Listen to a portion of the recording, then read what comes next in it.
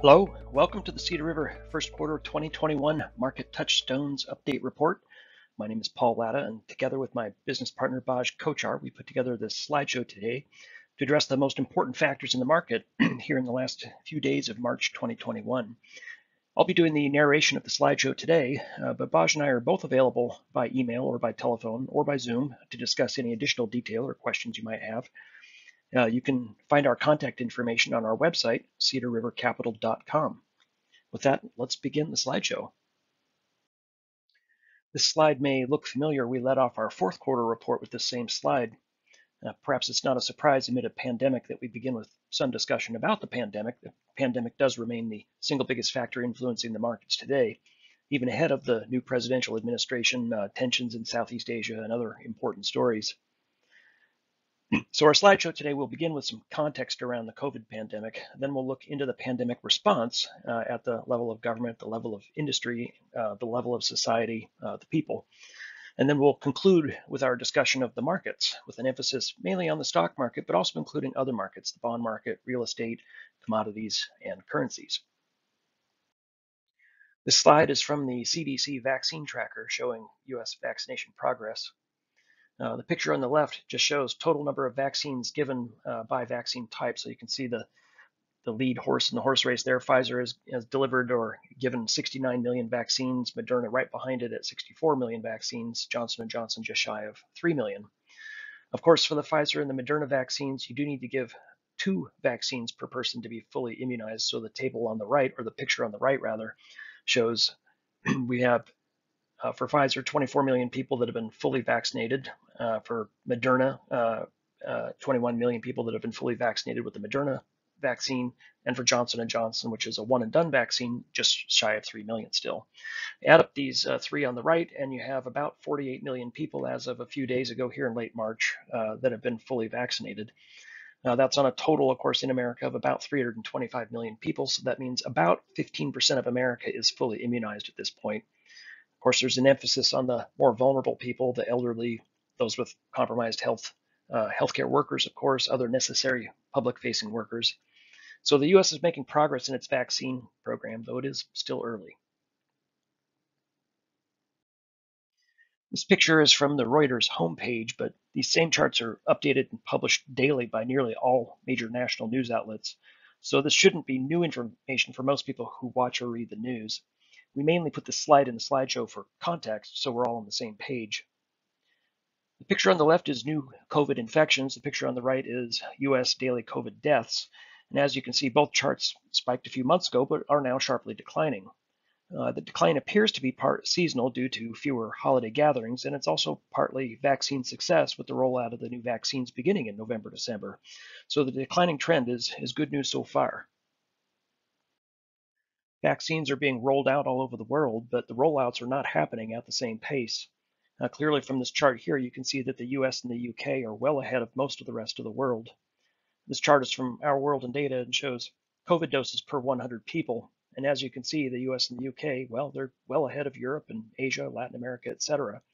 I might mention the chart does not distinguish whether the vaccines are from two-shot regimes like Pfizer or Moderna or from a one-shot regime like a Johnson & Johnson, but it still does give a sense of relative ranking of how the US and the UK are compared to other regions of the world, which are definitely lagging behind. COVID is resurging in most European countries, which may not be a surprise given the low vaccination rate seen on the previous slide. One notable exception here on this picture is the UK there at the bottom right, where infection rates are low. Again, probably not a surprise given the high vaccination rates in the UK. Indeed, the trajectory of the UK infection rate is very similar to that of the US that we saw in slide number four, the only other country with a high vaccination rate. So it appears vaccinations are making a difference. Uh, notably, the vaccinations are increasing in Europe. The bottlenecks to vaccinations are not really an unwillingness to be vaccinated, but rather it's regulatory issues, production issues, logistics issues, issues that will be addressed in time, uh, likely sooner rather than later.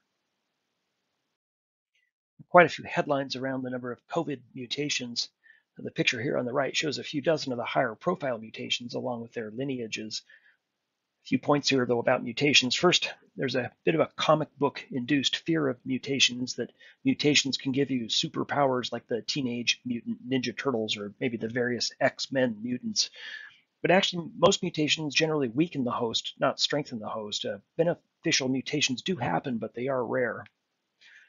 Uh, second point, uh, COVID does mutate fairly slowly for a virus, about half the rate of the seasonal flu, and nowhere near the speed of the higher profile uh, uh rapidly mutating viruses like HIV or hepatitis C. So scientists actually stand a decent chance of getting ahead of any possible COVID mutations here. Uh, lastly, uh, most mutations are actually not altering the antibody target, which suggests that the vaccines are mostly going to be still effective against most of the most of the mutations that are out there. That said, there are a few mutations making headlines, and we'll discuss these on the next slide. There are three COVID mutations making headlines these days, the UK variant, the South Africa variant, and the Brazil variant. Uh, the table on the right is from Luke Timmerman's website, which provides a little bit more detail on each of these, though the table is about a month old and we have a bit more knowledge on each now. But looking at each of the three mutations from the least threatening to the most threatening, uh, the least threatening, uh, probably the UK variant, uh, while it did get quite a few headlines here a few months ago when it was evident that there was a, a mutation spreading that had a, a 40% or higher uh, increased level of transmissibility, uh, the lethality does not appear to be meaningfully worse. It is perhaps a little bit worse, but more importantly, it does appear from early stage uh, human data as well as in vitro data that the vaccines are indeed effective against this particular variant. So it is something we do have to watch, but it does again appear that the vaccines are effective against the UK variant. The South Africa variant, a little bit more concerning. Um, it does have increased transmissibility as well as uh, lethality, not quite as uh, dramatically so as the UK variant. Uh, but what's more concerning about the South Africa variant is it appears that the vaccines are only about half to two thirds of effective against the South Africa variant in comparison to the non-mutated COVID virus. So we do have to watch this one a little bit closer. Uh, all three of these data points, uh, transmissibility, lethality, and immune escape, are evolving uh, for, for the South Africa variant. So again, we'll have to keep an eye on that. Uh, the most concerning variant, of course, is the Brazil uh, variant, the P1 variant, uh, mainly since this mutation, mutation traced its lineage to a population that was regarded as previously infected. So the variant appears to evolve some form of antibody resistance resistance that basically suggests the vaccines will have little effect. It's about twice as contagious as the non-mutated COVID, and unlike non-mutated COVID, uh, younger people are not disproportionately protected. In other words, it goes after old people and young people. As of the date of this chart, the variant was limited to only seven countries, though it's spread to over 20 now, so it's clearly spreading. This one is clearly the mutation that's most in the gun sights of epidemiologists and infectious disease experts. So we'll definitely have to keep an eye on this uh, Brazil variant. So as we've seen from prior slides, the vaccines are making good progress in the US and the UK. Uh, we do still need to pay attention very closely to the mutations. We're not out of the woods yet.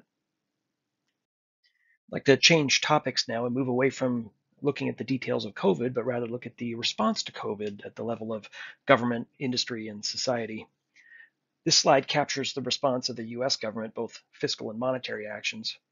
Since our prior Touchstones report back in December, the big fiscal news, of course, is the passage of the $1.9 trillion American Rescue Plan just a few weeks ago. This follows the CARES Act and the CARES extension both of last year. Uh, the new and comprehensive fiscal support included uh, $1,400 direct payments to individuals, food stamp benefits, grants to small business, uh, education funding, assistance to state and local governments to mitigate their fiscal shock, uh, rental assistance, a very comprehensive plan. Um, on the monetary front, uh, quantitative easing continues, uh, not quite at the same pace as the early days of the COVID shock, uh, but still at the pace we've been seeing for the last six months, maybe more. Notably, when you look at uh, both fiscal and monetary response, those uh, numbers are quite large, but most governments outside the US are also responding with sizable monetary and fiscal stimulus measures of, similar orders of magnitude. Uh, this is a worldwide uh, effort. Looking at the US fiscal response to the COVID crisis, the fiscal response has been larger than that of most other countries, but not dramatically so. Uh, this chart compares the fiscal response fiscal response as a percentage of gross domestic product in the US here is ranked number two behind Japan. Uh, though when you look at the footnotes, you can see there is some dispute over the Japanese figure, and it might make sense to toss uh, Japan from this uh, sampling here. Also, the U.S. response does include the recently passed $1.9 trillion American Rescue Plan, which might skew the numbers a little bit high for America. And if you pulled those back, it might end up in the low 20s instead of the upper 20s. regardless, whether you use the figure uh, with or without the American CARES Act and include or exclude Japan, I think it's fair to say that the US response is not too far from that of other developed countries. It's probably a little higher on average, but it's not two to three X, it's maybe a few percentage points higher. The last chart looked at the US fiscal response. Now we'll move on to the US monetary response. This chart looks at total assets of the Fed, which has increased with much of the bond buying as part of the Fed's quantitative easing program. The size of the Fed balance sheet rose dramatically, of course, at the outset of COVID, as shown in yellow at the right of the chart. Indeed, the quantitative easing in the COVID 2020 recession actually dwarfs the quantitative easing from the 2008 subprime recession. And while the pace of quantitative easing has slackened off, it's still on the rise. To quantify this, we're now at about $7.7 trillion on the Fed balance sheet. And while this sounds scary, as we show on the next slide, the US monetary response has actually been a little less than that of most developed countries. This is arguably one of the more important slides in our presentation, mainly since it clears up a common misunderstanding. In the prior slide, we showed that the U.S. Federal Reserve now has $7.7 trillion in assets on its balance sheet thanks to an aggressive quantitative easing program. Yet when measured as a percentage of gross domestic product, uh, the U.S. central bank balance sheet is actually more conservative than most of the largest global central banks, including European Central Bank, Bank of Japan, People's Bank of China. A common misunderstanding seems to be arising from the less informed Bitcoin investors taking uninformed potshots at the US dollar. Yes, the US dollar did in fact weaken last year, but mainly due to reversing the huge flight to safety rally in the US dollar in the early days of the COVID crisis uh, earlier in the year. Yet the Bitcoin narrative seemed to insist that the weakness was due to America's overambitious fiscal and monetary response. Quantitative easing, in particular, a form of money printing, seems to be met with the most derision by the Bitcoin crowd. Hopefully, the slide clears the air on how QE stands in the US compared to the rest of the world. Yes, the US is printing money, but the rest of the world is printing a lot faster, which is bullish for the US dollar, not bearish. Sorry, Bitcoin investors.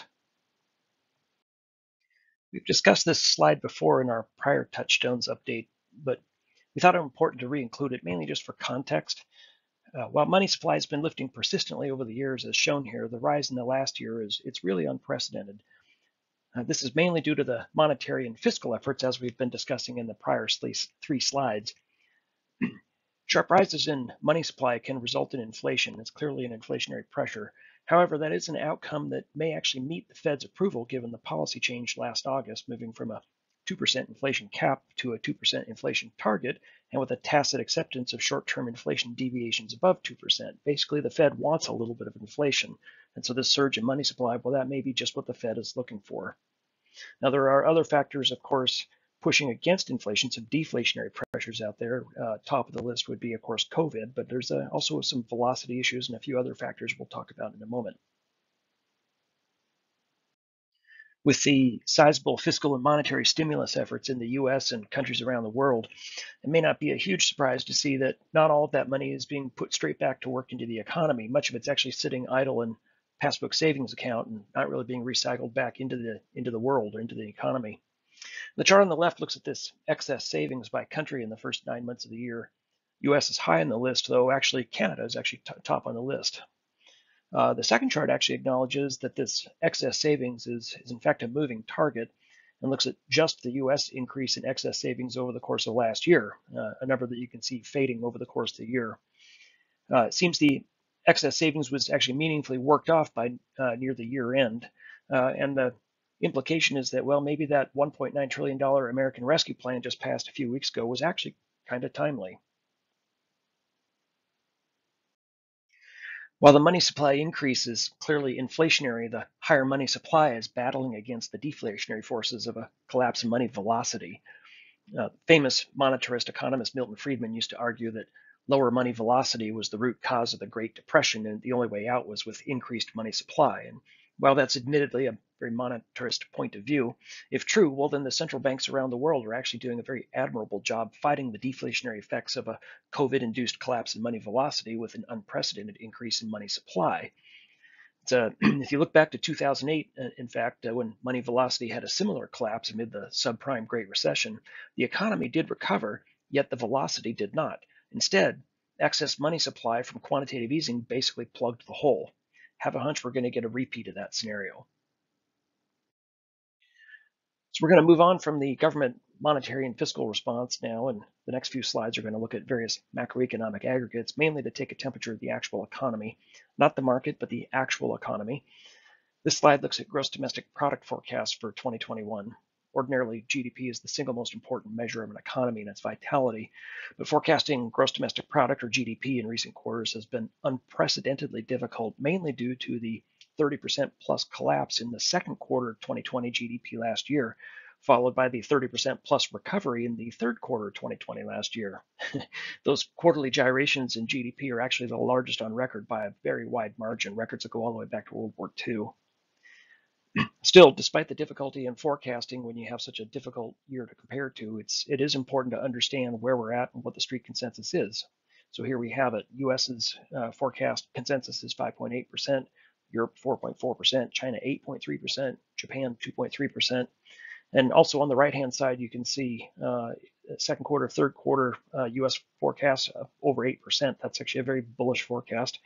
Uh, clearly, that does embed an expectation of some level of post-vaccine COVID recovery and post-vaccine reopening. Maybe not full uh, uh, COVID recovery or full reopening, but some level. And so uh, that explains the big numbers in the middle of the year. So anyway, we know that the consensus figures are not going to be stable. There's going to be a uh, movement over the course of the year. There's a wide dispersion of individual estimates even right now. Still, we believe they're not too far from too far off from what we would actually expect them to be. These are fairly reasonable.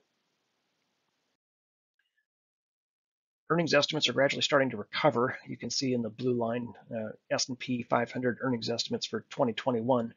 Prior to COVID, uh, Street was estimating about $192, $193 a share. Uh, presently, the Street estimates have actually recovered. We're at $173 per share. when we actually get to the end of 2021, it may be 175, 180. Actually, not too shabby. Uh, down five or 10% from where it was pre-COVID. Uh, that that's not a bad recovery. Now, of course, not all sectors are recovering nicely. Some are still struggling mightily. In particular, the travel industry and some of the restaurant, sit-down restaurant businesses, destination entertainment. Uh, in contrast, uh, there are some businesses uh, that are doing quite well. The stay-at-home businesses, the Amazons, the Netflix, the Domino's Pizza. And we'll talk about that in, in later slides. As mentioned in the prior slide, there are signs of recovery and earnings estimates are improving, but clearly there are hot spots and cold spots at this stage in the COVID pandemic. On the graph on the left, you can see post-COVID a, a, dip followed by a surge in demand for personal goods, but at the expense of personal services. A goods demand was not just toilet paper and Clorox wipes, but it was broad-based, included things like cell phones and home remodeling goods, computers, and more. Uh, similarly, services was not just cruise lines, but it was also restaurants and barbershops, hotels, and whatnot. So the goods are doing well, services not doing so well. The picture on the right actually maps out how to view the COVID impact by distinguishing acceleration of demand from acceleration of adoption. The top left of this map is COVID-driven acceleration of adoption. This is the quadrant of Zoom video. If COVID is cured tomorrow, revenue will just won't revert back to pre-COVID levels. In contrast, the bottom left is mere acceleration of demand. And this is the place where the, the quadrant where the toilet paper companies live, like Cascades and Clearwater. If COVID is cured tomorrow, uh, toilet paper will revert to pre-COVID levels, in contrast to what, what's happening at Zoom with acceleration of adoption. On the top right, we have deceleration of demand, and I think the poster child here is the orthopedics companies, companies like Stryker and Zimmer Biomet, uh, where they're seeing uh, temporary deferring of, say, knee replacements, but demand will revert quickly if COVID is cured tomorrow. And at the bottom right, we have deceleration of adoption. Uh, travel and restaurant industries are the poster children there. And they picked up a fairly big stigma of infection risk. If COVID is cured tomorrow, revenue will not revert right away to pre-COVID levels. Uh, Airbus, for example, is still saying global air travel, while forecast to improve over the next several years, is coming from a very deep hole, and so the current rate of improvement won't get back to 2019 levels until at least 2025, an outlook that's about in line with the street consensus. So anyway, with this map in mind, it's easier to assess which sectors should be rallying and which should be in more of a holding pattern. We occasionally get asked by investment customers about how the average everyman on the street feels about the economy. More pointedly, as professional investors are actually sometimes criticized for being out of touch with the everyman on the street. since we specifically deal with ultra high net worth individuals and institutional investors that are not exactly representative of the masses. Alas, though, the economics profession has already risen to this challenge of identifying precisely how the common man on the street feels about the future in the economy. This chart is one of such surveys. This is the monthly University of Michigan Consumer Sentiment Survey. Clearly, the onset of COVID struck a fairly big blow to consumer sentiment, as you can see in the yellow on this chart to the right. That said, we're nowhere near as low as we were during the 2008 Great Recession in the gray on the far left of the chart. Good news too is that the trend, uh, trend in the recent months is actually not worsening. In fact, it's actually modestly lifted from the lows in recent months. Of all the ways to measure the health of economy, the unemployment numbers are near the top of the list up there with gross domestic product and consumer sentiment. Politicians are especially sensitive to keeping people out of the unemployment lines. However, the unemployment figures are frequently criticized for overreaching on simplifying assumptions about what defines unemployed in particular for defining the difference between a discouraged worker and, a, and an un, unemployed worker. Wall Street professionals uh, have generally ignored the untrustworthy unemployment number and usually just look at non-farm payrolls, a little bit more trustworthy, a little bit more of a, a raw number, but a more trustworthy number.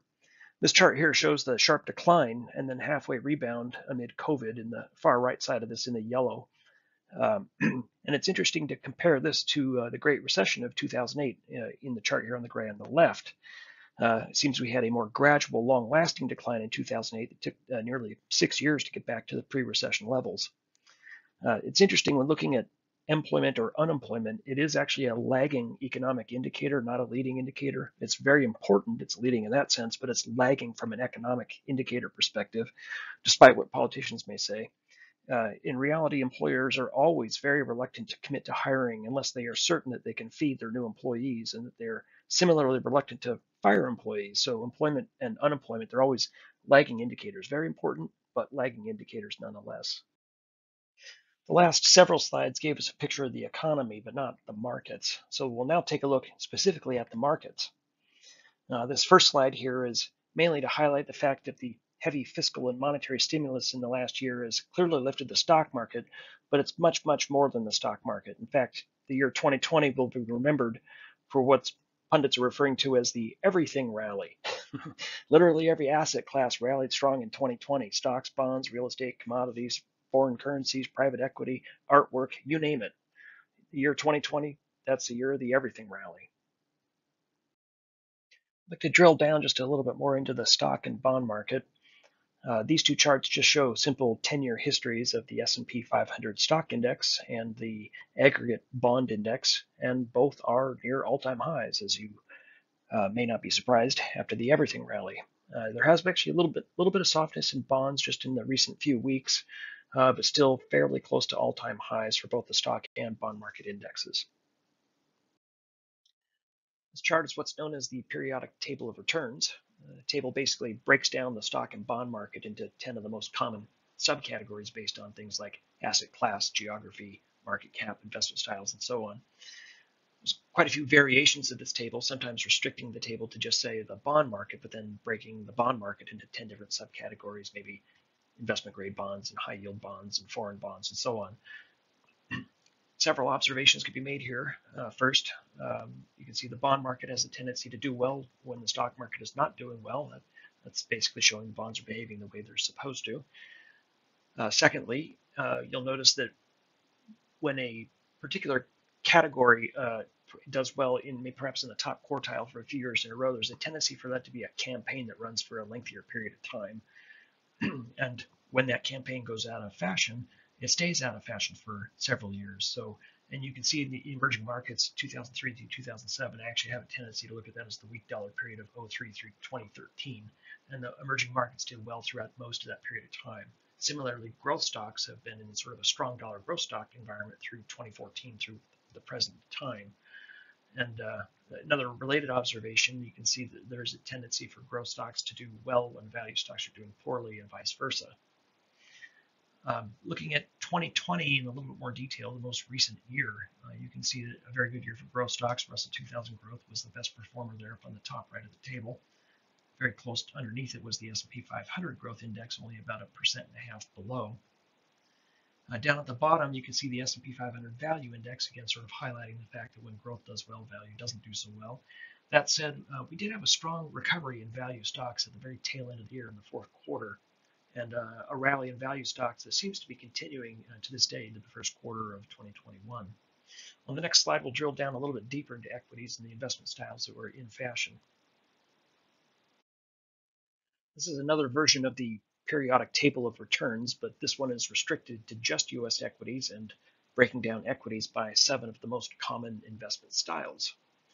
The first observation, as mentioned on the previous slide, is that the growth campaign uh, through 2020 remains in vogue, and value stocks have been struggling, struggling through most of 2020. While there's a limited history on story stocks, the most aggressive form of growth investing, the story stocks have been the best stocks in the last couple of years. It's been a very good time to own Tesla or or uh, HubSpot or CRISPR or one of those really, really great sounding stories. Uh, Tesla, for the record, also would have done really well during the dot-com uh, story stock environment of the late 90s, though in 2003 through 2007, when those story stock uh, sector was under great pressure and emerging markets were taking all the mind share, uh, probably would not have been a good time uh, for Tesla to be a public company in 2003 through 2007. Look at value stocks, uh, a little bit curious here, but they were clearly weak in 2020. Not a huge surprise there, but they've actually performed fairly well in 2021. And some people have chalked this up to the so-called everything rally that we talked about on the earlier slides. but a big factor driving value stocks is the earnings improvement we're being seeing at the early value chain commodity producers that are big parts of those indexes. Uh, many of those were closed in for COVID, but are now seeing wholesaler restocking in anticipation of a vaccine-driven recovery. Yet the production for these commodities is still closed in because of things like mill shutdowns and COVID labor labor restrictions. And so we're getting uh, epic price increases. And of course, with the inflation-friendly Fed, commodity prices are now sitting here at multi-year highs. so, so value may uh, have a uniquely solid year despite the many factors that are actually still supporting the growth campaign. We may actually have a uh, a little bit of a contrarian move in value stocks that might run through most of 2021. If you look at some of these other uh, investment styles, uh, high beta seems to be seeing a good start to the year, actually for similar reasons that we're seeing with value stocks, since a lot of those indexes contain uh, many of the early value chain names and names that were sort of dogs of the Dow that people like to bet on recovery. So some of those high beta names are actually doing quite well. It's actually the best performing investment style year to date so far, even ahead of the story stocks. If you look kind of at the, uh, well, actually the income stocks, it's kind of in the middle of the uh, stack here. Um, income stocks have not done so well in, in recent years, uh, more of a market performing uh, style this year. Uh, my personal belief uh, is that income stocks have a tendency to trade a little bit like bonds, not particularly bullish on bonds right now. interest rates close to zero, and so that does suggest that income stocks don't really have a whole lot of upside from here. Uh, what about low volatility? Well, uh, low volatility had a great year in 2018, but you'll notice the S&P 500 was actually down that year. In fact, that's probably a good way to think about low volatility. Similar to income, it's a I hesitate to call it a bond equivalent because low volatility doesn't imply any actual income. Uh, but but when the market is actually down, people have a tendency to run into those WalMarts and Procter and Gamble's and Costco's and those types of low volatility names that are they're a big part of those indexes. So low volatility, uh, not such great years in the last two years, uh, not such a great start to this year, but had a, a really solid year in 2018. Uh, that was the style uh, that worked in a year when the S&P was actually down 4%. Anyway, this is a little bit of a map, just talking about investment styles. It's a little bit hard to get a hold of this map, uh, and so it's it's good to actually see this uh, in, in, in a pictorial form where it can be discussed. One sign of a strong stock market is a strong corporate finance market, including initial public offerings, secondary offerings, mergers and acquisitions. Our prior deck talked about the fact that the IPO market eclipsed the 1999 dot-com record uh, for numbers of number of IPOs, evidently a, another indication that we are clearly in an everything rally. One of the unusual side effects of an IPO market that has been the rise of the backdoor IPO via the SPAC market or the special purpose acquisition company. And the chart on the left shows the cumulative capital raised via the SPAC market beginning about the onset of COVID and the subsequent monetary and fiscal stimulus. Clearly, this is a sign of a frothy market. The table on the right lists some of the more unusual SPACs that have been listed in recent months. Um, some slightly amusing names, the Axe SPAC, the SPAC SPAC, the Shack SPAC, the Sports SPAC. Anyway, uh, some unusual names there, some slightly amusing, uh, but clearly this is a sign of a frothy market. We've used this chart on the left in prior presentations, and we loved it so much that we supplemented it with the complementary chart on the right. Both charts show that stocks are inexpensive relative to bonds. Both charts also show that stocks and bonds were comparably valued from about 1980 to just after about 2000, but the valuation spread has been widening ever since. The chart on the left compares the 10-year Treasury bond to the earnings yield of the S&P 500, the earnings yield is basically the upside down PE ratio or the earnings to price price ratio. For those who who cannot really get their mind around the earnings to price ratio, it's not very intuitive. Uh, the second chart actually just uses the S&P 500 PE ratio, but then compares it to the reciprocal of the bond yield to make it apples to apples. Both charts basically show that stocks are clearly cheap relative to bonds. My favorite interpretation, though, is that stocks should be about threefold higher in order to match the price of bonds today. With bond yields near zero for most of last year, many investors actually felt they were being forced into stocks because there is no alternative, uh, now commonly referred to by its acronym for There Is No Alternative, or TINA. While originally TINA was coined by Margaret Thatcher in the direction of her government, uh, TINA does actually indeed seem to capture a main driver for stocks in the last year. After all, stocks are cheap compared to bonds. Stocks can appreciate, unlike bonds with earnings growth, and stocks, of course, are liquid. This slide is mainly a reminder that real estate does actually have a bond-like character and is sensitive to interest rates. As you can see here, this is cap rates, uh, more commercial real estate versus uh, bond yields uh, going back over the last almost 30 some years. Not a perfect correlation, but a broad correlation, not really a surprise. Uh, bottom line, with rates at near zero uh, here in the last year or so, real estate market has also performed well along with the stock market. In other words, uh, part of the everything rally. This is looking more specifically at residential real estate nationwide using the Case-Shiller 20 index and looking mainly at year-over-year -year growth instead of the actual index. It's interesting to see that real estate is indeed rallying, but as is common with real estate, it does lag the stock market, which is, you know, mainly due to the fact that real estate is an illiquid market. Stock market, in other words, had a really big, strong rally in April, May, June, July, and that's about when the real estate market just started to pick up. For those who work in the industry, the more pressing issue is not necessarily the price increases that we're seeing, but it's actually uh, the inventory of homes for sale is dropping to very, very, very low levels. Uh, home construction has spiked in recent months. In fact, uh, housing starts and building permits hit uh, 10 plus year highs uh, in late summer, early fall. And so uh, perhaps that will alleviate some of the inventory issues that the real estate agents are facing these days. Just to put a little bit more color on the low inventory challenges in the residential real estate market, you can see here now that there are actually more real estate agents than there are homes for sale. Inventory in particular down 29% year over year. It's a fairly steep decline uh, from an already low level down to 1.03 million units. Uh, by comparison, National Association of Real, Realtors membership right now is actually near a record high at 1.448 million, up 5% year over year. So uh, a lot of agents out there, but uh, the inventory is really at a very, very low level. To switch from the real estate market now to the commodity market, as we alluded to in our discussion of the periodic table of returns, the commodity markets are booming despite the economy not really being fully recovered. What's going on? Well, almost all the commodities are facing the same situation of restricted supply due to COVID shutdowns and labor restrictions, yet strong wholesaler stocking in anticipation of vaccine driven COVID recovery. The story is identical in the lumber industry, the oil industry, the copper industry, the, the semiconductor industry, even in the least, less economically sensitive uh, agricultural commodities like corn and wheat and soybeans. About the only commodity that's not really moving, uh, precious metals, uh, gold in particular, uh, on the list of reasons for why uh, gold might be being held back. There's a handful, but uh, probably the highest profile one is that it appears gold is being replaced, rightly or wrongly, as a mo monetary alternative by, by Bitcoin. and so seems to be losing a little share to Bitcoin. Anyway, commodity markets are rallying, uh, in particular energy, agriculture, and the base metals, not so much the precious metals though. The graph on the right puts a little bit more color on the rally in oil, though this chart looks very similar to the charts for most of the other commodities on the prior slide. Uh, also, the chart on the left does a pretty good job of putting a picture to the story of restricted supply. Also, a chart that you could probably overlay with many of the commodities on the prior slide. So again, we have that situation with wholesalers trying to stock up.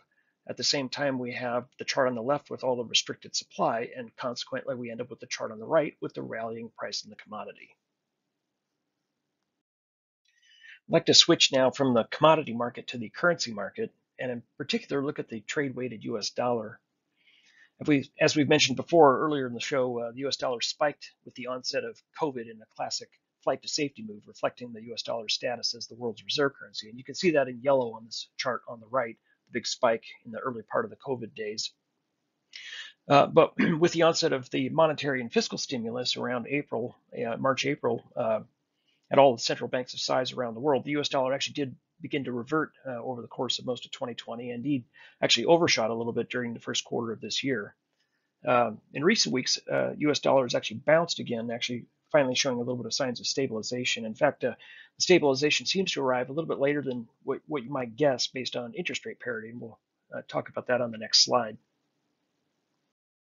There's been many headlines around the sharp rise in the U.S. 10-year Treasury rates uh, in the last few months, but the rise is really only happening in the U.S., nowhere else in the rest of the world. These four charts compare the spread between the US 10 year Treasury and the 10 year Treasury in Europe, in Japan, in the UK, and in Korea. And it's basically a one way street, and that way is down. In other words, US rates are going higher and non US rates aren't moving. but if the US rates are higher, that will draw foreign fixed income investors to arbitrage the situation, which lifts the US dollar, interest rate parity. This has been going on for months, but the US dollar finally started to lift just two or three weeks ago, long overdue. A strong US dollar, of course, has implications for the stock market sector outperformance, and we'll talk a little bit about that on the next slide. We borrowed this slide from the piece on the US dollar on our website, cedarrivercapital.com. If indeed we do have an overdue strengthening of the US dollar, that would be good for the strong dollar sectors like consumer goods, technology, biotechnology. But of course, it'll be a headwind for those sectors that benefit from a weak dollar like raw materials, energy, commodities, emerging markets. Again, please read through our US dollar thought piece on our website, cedarrivercapital.com, if you're curious about the mechanism of this action or need, need a little bit more detail. Uh, one of the other unusual features this year is that uh, we do have that situation with uh, such a big supply demand imbalance in the raw materials side. And we may have one of these situations where the US dollar strong, weak, it just really won't matter in terms of sector leadership. Uh, indeed, there's a very strong case that the, the everything rally continues. Thank you again for listening to our Cedar River Capital Midyear 2020 Market Touchstones Report. Please feel free to reach out and ping us if you have any questions or comments. Please take a look at our website, cedarrivercapital.com. And again, thank you for listening and thank you for tuning in.